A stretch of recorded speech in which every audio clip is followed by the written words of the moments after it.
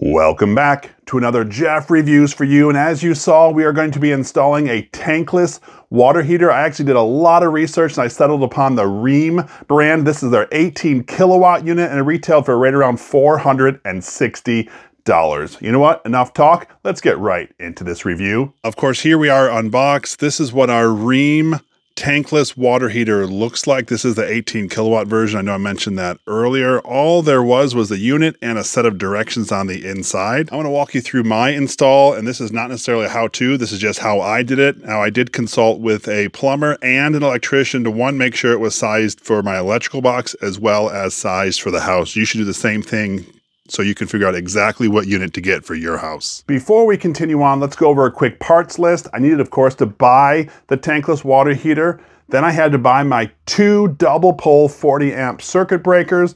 Then I had to get my wire and of course all the fittings and connections and pipes. Total for me was right under $1,000. We'll say that your inlet and your outlet valves are on the bottom. So when you plumb your system, you have to make sure you plumb from the bottom up. Also right here next to the inlet outlet is where your electrical line will go in. Also in the box is the cap that will go on at the very end. So don't forget to set this aside. You might miss it altogether. This particular unit is just over 18 inches tall, 14 and a half inches across, and three and a half inches deep. To take off the cover for installation, there's two screws on the bottom and then two screws right here on the top. So take all four of those off, put those aside, and we can take the cover off. Of course, with the cover off, we can see on the four corners that we have our spots that we have to mount our tankless water heater to. Now, I should say this did not come with any screws, so you have to get your own screws for the install. Also on the inside, you notice these two cylinders in the middle. Those are actually your heaters or what's going to heat your water when it's on demand or when you want it.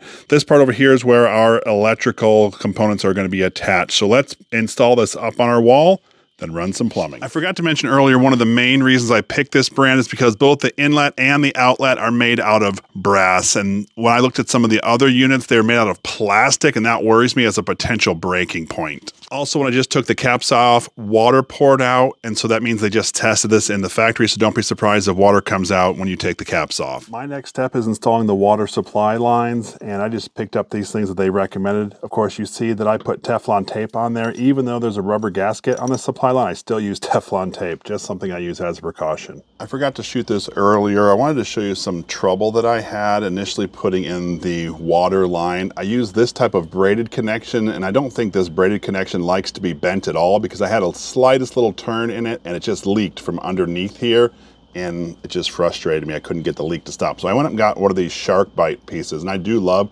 SharkBite. They're quick and easy, although expensive. And this piece screwed right in. I was able to bend it and connect it and we're on our way. We've run our electrical lines through the house, as you can see, and they come up and around and they get screwed into these terminals here. So you notice that I have the black on the right side and that corresponds to the black that's with the actual water tank. But then I have a white wire just because that's what was in my set of wires and that connects with the red. The same thing for terminal two, black goes in with the black line here and the white line goes in with the red. And then of course I've tied in my grounds right to this ground post. Whenever you're dealing with electricity, it's important to know if your lines are live or not. I know mine are not live because they're not actually hooked into the box yet, but still it's important to test. I just use one of these simple, inexpensive expensive electricity detectors where if you touch a live wire, it'll beep. These ones, of course, are not live, so there you go.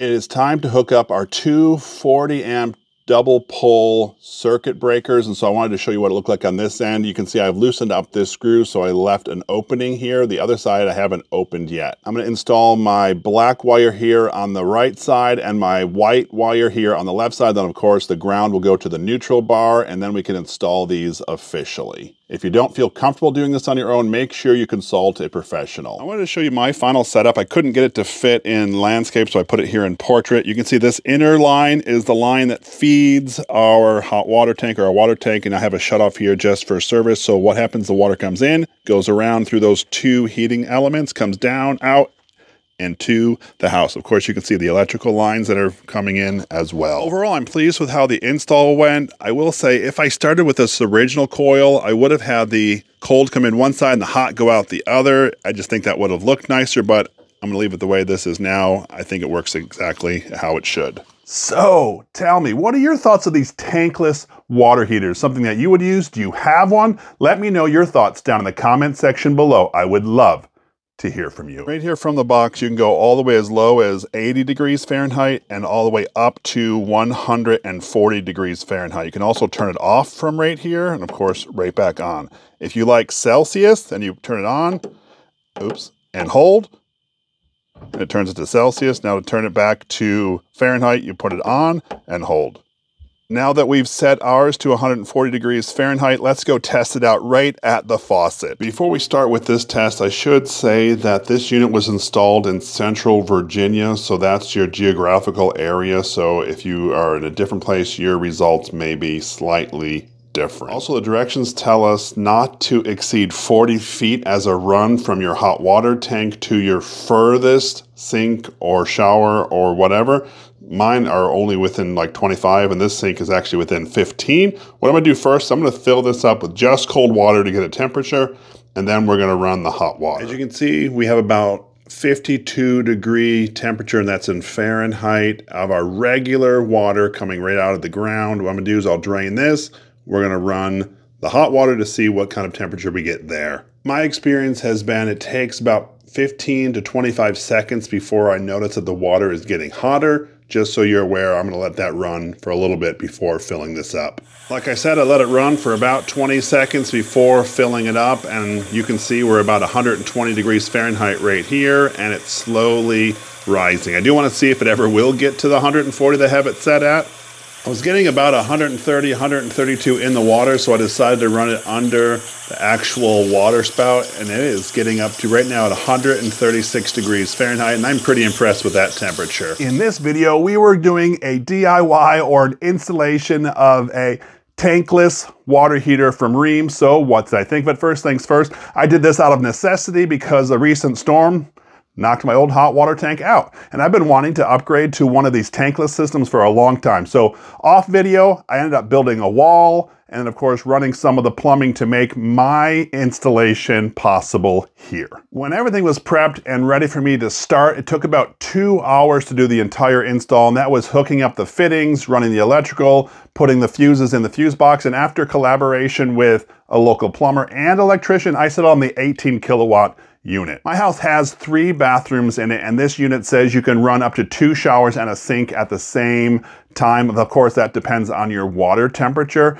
My electrical box only had space for the two 40 amp breakers, so I knew that's where I was unless I wanted to upgrade my box. So after collaborating with an electrician and a plumber, this is the unit that I set on and I've been pretty happy with it. I really do like how lightweight and convenient this is to install. You can almost put it anywhere. You know what though? If you're going to be installing a different size unit, make sure to refer back to your directions because each unit calls for a different breaker size, maybe even wiring, so make sure to double check there. I do appreciate how easy it was to adjust the temperature all the way up to 140 degrees Fahrenheit. Now that's pretty hot. I'm gonna lower mine to right around 125 when all said and done, but I think it's cool how quick and easy you can edit or change your temperature. I don't look at this as a typical DIY, although it was pretty easy to install. If you feel comfortable doing these kind of things, always make sure you do safety first. If this is something that interests you, I will leave a link down in the description. Also, I will leave updates down in the description on how things are going for me. This is Jeff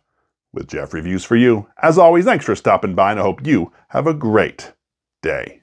You can see when someone uses the water, this changes to an E5 and then shows you the temperature that you have it set for. You can see, of course, we have it set for 140 degrees Fahrenheit. Otherwise, the screen is just blank when not in use. I really do appreciate that you stayed around for my entire review where I installed my very own tankless water heater. You know what? Not that long ago, I actually installed another plumbing product, and that is the under the sink filter. What I'm gonna do is I'm gonna link that right up here, and I would love it if you would click on this link. And when you do, by the magic of the internet, I'm going to join you at that review. So go ahead, click it. It's safe. I promise.